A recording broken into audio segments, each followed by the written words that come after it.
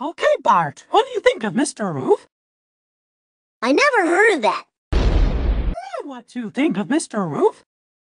1 800 Mr. Roof. Mr. Roof.